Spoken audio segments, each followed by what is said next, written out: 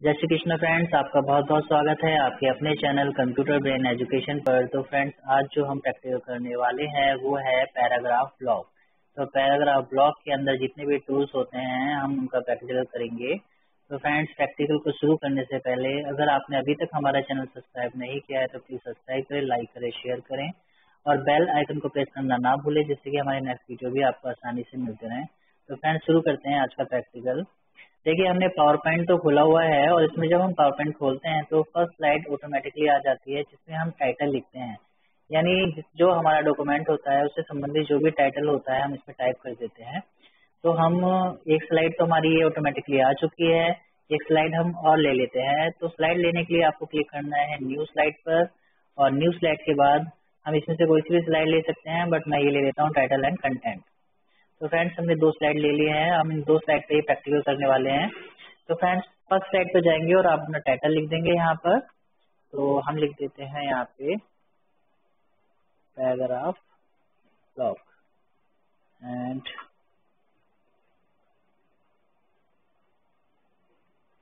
Presentation तो friends हमने ये टाइप कर दिया है।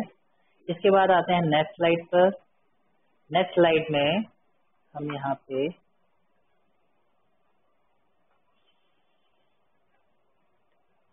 तो हमने यहाँ प्रैक्टिकल टाइप कर दिया और हम यहाँ पे ले लेते हैं पैराग्राफ तो फ्रेंड्स पैराग्राफ लेने के लिए आपको क्लिक करना है और हम एक बुलेट जो है, हम बैक स्पेस से बुलेट को हटा लेते हैं और इजिकल टू टाइप करके आर ए एन डी लिखे और आपको इस तरह से ब्रैकेट लगा के एंटर पुश कर देना है एंटर बटन दबा देना है तो हमारा पैराग्राफ इसमें आ जाएगा. फ्रेंड्स हमें प्रैक्टिस करना है, इसलिए हमने ये पैराग्राफ ले लिए हैं. तो फ्रेंड्स अब शुरू करते हैं. सबसे पहले तो ये आता है हमारा बुलेट्स अब देखिए, ये जो पैराग्राफ है, इसमें कोई भी बुलेट्स नहीं है। हम चाहते हैं कि जो पैराग्राफ जहाँ से शुरू हुआ है, उसके साइड शुरू में, यानी स्टार्टिंग में ही बुलेट्स आ जाए।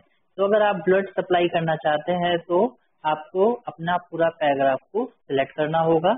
और आपको जाना है बुलेट के इस एरो पर। जैसे आप इस एरो पे क्लिक करेंगे तो आपके पास बहुत सारे बुलेट यहाँ पे दिख जाएँगे। आपको जो भी बुलेट अच्छा लग रहा है, जो, और जो भी आपको चाहिए तो आप यहाँ से ले सकते हैं। तो हमने ये बुलेट ले लिया फ्रेंड्स इसके बाद आप इसी तरह से कोई सा भी बुलेट ले सकते हैं। इसके सबसे नीचे आ रहा है बुलेट्स एंड नंबरिंग तो जैसे ही आप बुलेट्स एंड नंबरिंग पे क्लिक करेंगे तो फ्रेंड्स ये बहुत सारे बुलेट्स हैं। आप इस बुलेट के बजाय कोई पिक्चर भी ले सकते हैं। तो ये बुलेट का साइज़ होता है। अगर आप बुलेट का साइज़ बढ़ाना चाहते हैं तो आप यहाँ से बढ़ा सकते हैं। और हम पिक्चर ले लेते हैं एक तो पिक्चर पे क्लिक करेंगे, अगर आप पिक्चर लेना चाहते हैं। फ्रेंड्स ये बहुत सारी पिक्चरें इसमें आ रही हैं तो इसमें से कुछ भी ले सकते हैं। बट अगर आप जो पिक्चर लेना चाहते हैं, वो इस लिस्ट में नहीं है, और आपको इसमें इंपोर्ट करनी है, जो कि आपके कंप्यूटर में है तो आप इंपोर्ट पे क्लिक करेंगे, और आपकी पिक्चर जहाँ भी होगी, आप वहाँ पे जाएँगे, और जो पिक्चर आपको चाहिए, उसको हम सेलेक्ट कर लेंगे, और यहाँ पे जो नीचे ऐड बटन है, उसे ऐड कर देंगे। तो इस लिस्ट में वो जो भी पिक्चर आप ऐड करेंगे, वो यहाँ पे आ जाएगी। अब उस पिक्चर को सिलेक्ट करने के बाद जो भी आपको पिक्चर चाहिए और ओके बटन पर क्लिक कर देंगे। तो फ्रेंड्स आप देख सकते हैं कि ये पिक्चर हमारे इस पैराग्राफ से आगे आ चुकी है। अगर इस पिक्चर का साइज़ आप थोड़ा बड़ा करना चाहते हैं इंक्रीज करना चाहते हैं तो इसके लिए अगेन आपको जाना है इस एरो पर बुलेट एंड नंबरिंग पर। और ये जो नीचे रहता है तो उसको आगे हम क्या करेंगे साइज़ को बढ़ा देते हैं। साइज़ को बढ़ाने के बाद जैसे आप ओके बटन पे क्लिक करेंगे तो देखिए उसका साइज़ बढ़ गया है। तो इस तरह से आप इन आ, का साइज़ भी बढ़ा सकते हैं अपने बुलेट का। फ्रेंड बुलेट के बाद सबसे नीचे बुलेट एंड नंबरिंग में जैसे क्लिक करेंगे तो इसके बाद अगर आप नंबर में जाएँगे तो आप इस तरह से नंबर भी ले सकते हैं। तो हम नंबर ले लेते हैं वन टू थ्री तो देखेंगे आप नीचे तो यहाँ पे वन टू थ्री भी आ गया है। बट उससे पहले हमें इसको हटाना होगा तो हम पहले वाले जो बुलेट्स हैं, उनको बुलेट्स को हटा लेते हैं। तो बुलेट्स को हटाने के लिए आपको सारा पैराग्राफ जितना भी टोटल मैटर है, उसको सेलेक्ट करना है और एरो बटन पे क्लिक करके नॉन बटन पे क्लिक कर देना है। फ्रेंड्स अब हम चाहते हैं इसमें नंबरिंग आए तो सिलेक्ट करेंगे और डायरेक्ट हम यहाँ से भी नंबरिंग पे जा सकते हैं। तो देखिए, आपको वन टू थ्री चाहिए या ए बी सी डी चाहिए तो जिस तरह से भी आपको चाहिए, वो आप यहाँ से ले सकते हैं। हम यहाँ से वन टू थ्री ले लेते हैं। जैसे ही हम वन, टू, थ्री पे क्लिक करेंगे तो आप देख सकते हैं, हमारे हर पैराग्राफ के आगे वन, टू, थ्री आ चुका है। तो फ्रेंड्स, ये इसलिए प्रॉब्लम कर रहा है क्योंकि हमने पहले भी हम इसमें पैराग्राफ ले चुके हैं और हमने यहाँ पे एंटर कर दिया है। अब देखिए। हमने इसको सिलेक्ट किया अगेन और सिलेक्ट करने के बाद हम वन, टू, थ्री पे क्लिक कर देंगे। तो देखिए, ये वन, टू, थ्री आ गया है और वन, टू, थ्री आने के बाद फ्रेंड्स अगर इसमें आप एबीसीडी चाहते हैं कि शुरू से एबीसीडी आए तो फ्रेंड्स आप एबीसीडी भी ले सकते हैं। और ये होता है बुलेट नंबरिंग बुलेट नंबरिंग पे जाने के बाद, अगर यहाँ पे देखिए, ये स्टार्ट टू है तो वहाँ से टू से स्टार्ट हो रहा है तो यहाँ पे वन है तो वन करेंगे तो वन से स्टार्ट हो जाएगा। अब हम ये जो नंबर है वन टू थ्री हम ये चाहते हैं टू से स्टार्ट हो। यानी अभी तो वन से स्टार्ट हो रहा है, ये टू से स्टार्ट हो। हम सबको सिलेक्ट करेंगे और जाएँगे एरो पे क्लिक करेंगे बुलेट एंड नंबरिंग में जाएँगे। तो ये जो नंबर होते हैं, ये वो नंबर होते हैं जहाँ से आप जो अपने नंबरिंग है वो स्टार्ट करना चाहते हैं। हम चाहते हैं टू से स्टार्ट हो। तो देखिए, ये सब यहाँ से टू से स्टार्ट हो गया यहाँ बी से ओके करेंगे तो देख सकते हैं आप यहाँ टू से स्टार्ट हो रहा है। इसी तरह से हम पहले जैसे कर देते हैं इसको। तो पहले जैसा करने के लिए आपको क्या करना है? बुलेट एंड नंबरिंग पे जाना है और यहाँ पे वन कर देते हैं।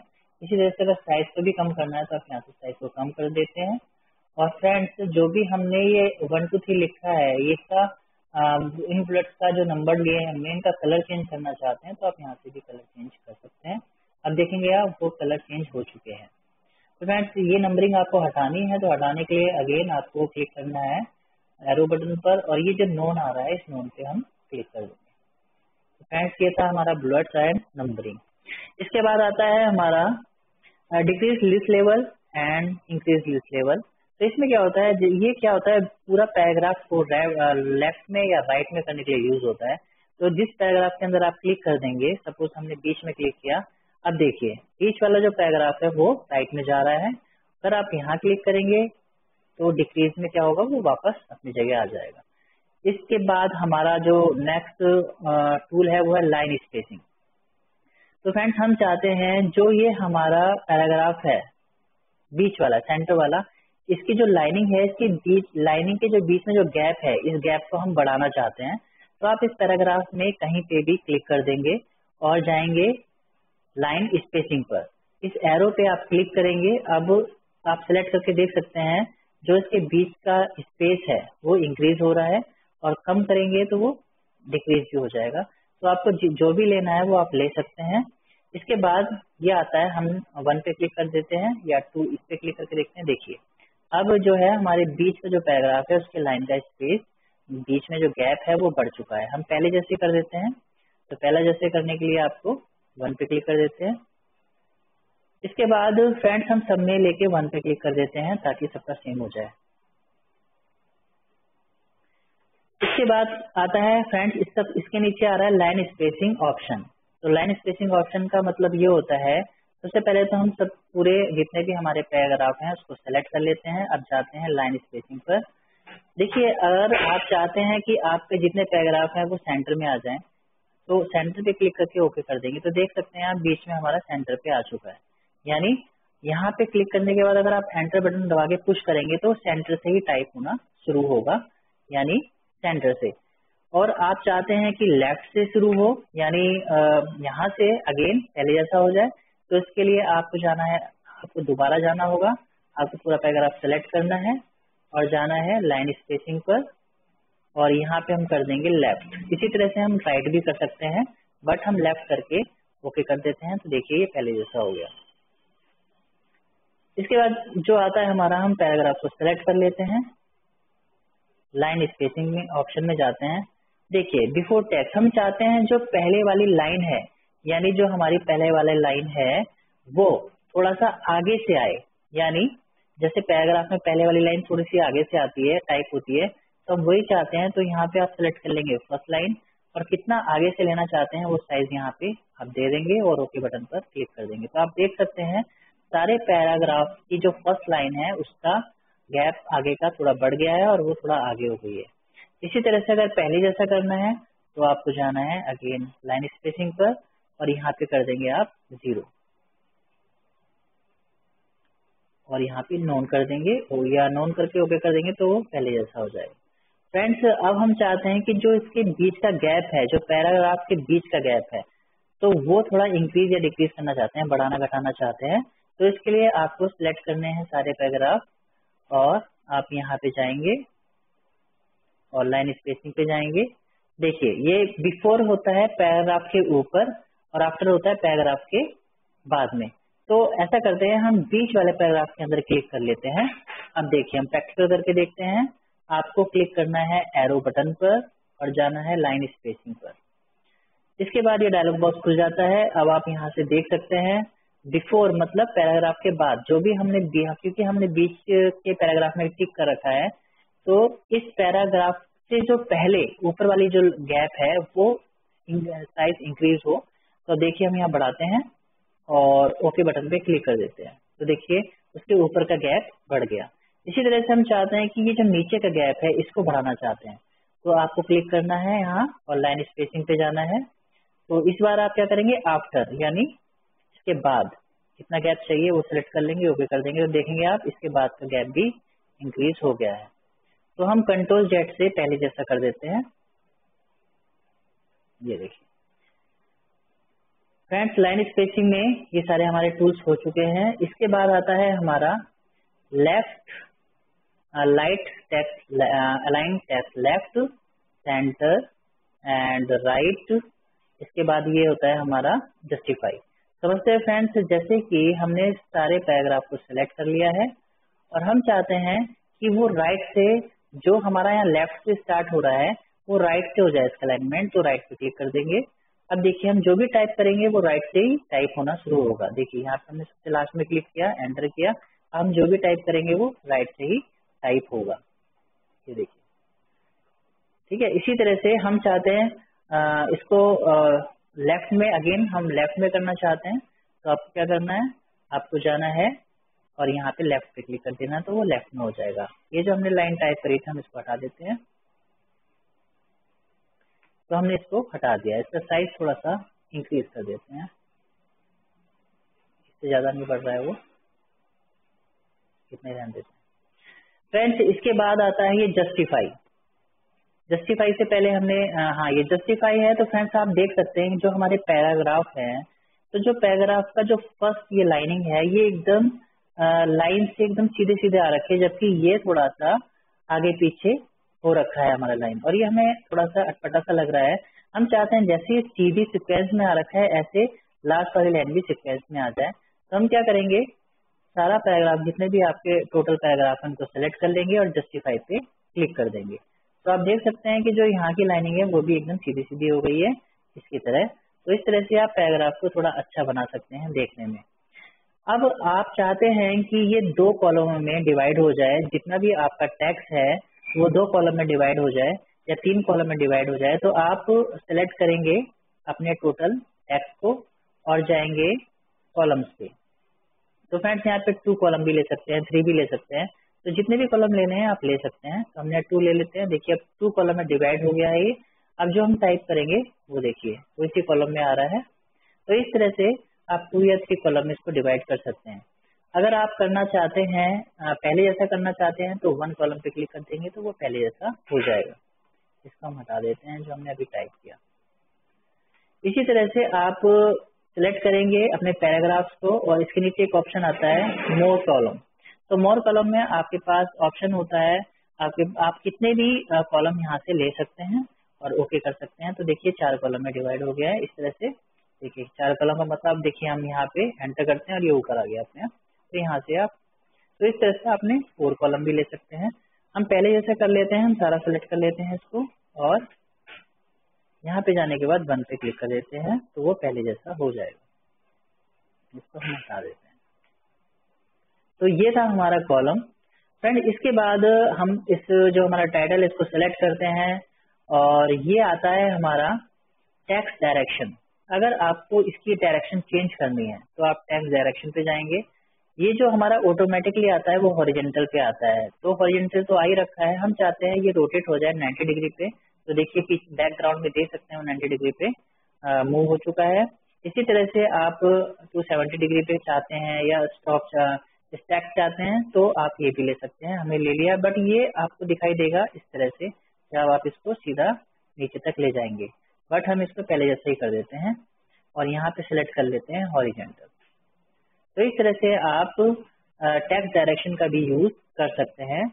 इसके बाद आता है हमारा अलाइन टैक्स यानी कि देखिए हमने जो प्रैक्टिकल टाइप किया हुआ है, हम इसका अलाइनमेंट चेंज करना चाहते हैं टॉप सेंटर या बॉटम में। तो आप यहाँ से जा सकते हैं। देखिए, ऊपर टॉप में जा रहा है, जो भी हमारा बॉक्स है, इसके आप सेंटर में आ रहा है, इस तरह से वो नीचे आ रहा है। तो इस तरह से आप इसमें कोई अलाइनमेंट इसका सेट कर सकते हैं।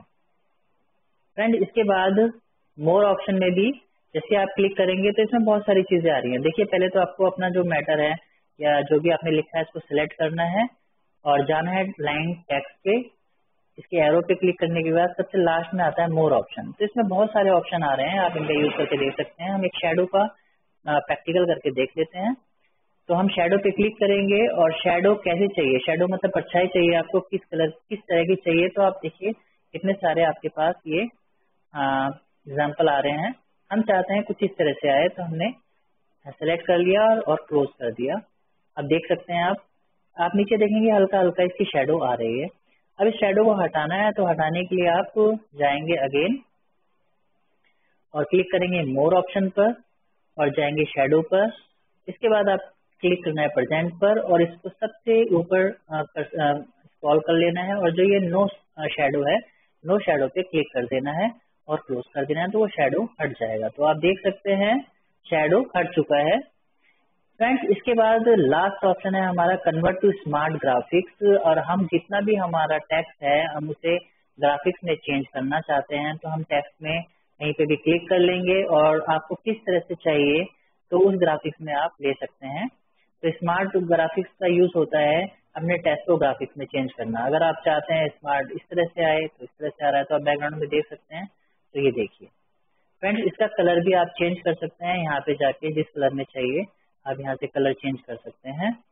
इसके बाद अगर आप चाहते हैं, हम दूसरा लेना चाहते हैं इसमें कुछ तो आप इस तरह से मोर लेआउट में जाएँगे और मोर लेआउट में इतने सारे ऑप्शंस आ रहे हैं लिस्ट आ रहा है।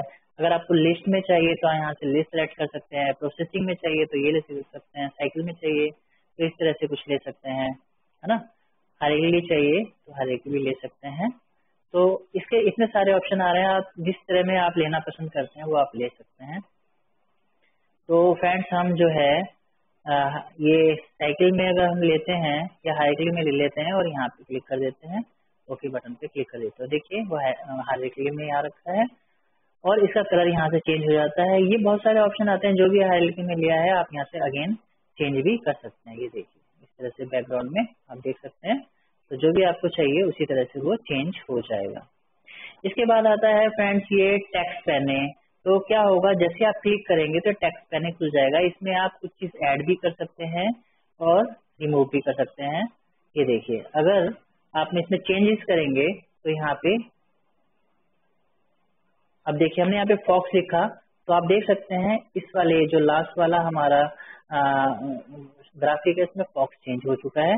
हम डॉग कर देते हैं अगेन तो ये देखिए, वहाँ पे डॉग हो गया है। इसी तरह से आप और भी इनबिल्ड इसमें कर सकते हैं। इसको हाइड करना है तो अगेन आप टेक्स्ट पैने पे क्लिक कर देंगे। वही चीज़ आप, ये जो बटन आ रहे हैं दो, वही चीज़ आप यहाँ से भी कर सकते हैं। और हाइड करना है तो आप टेक्स्ट पैने पे क्लिक कर सकते हैं। फ्रेंड्स ये क्या होता है?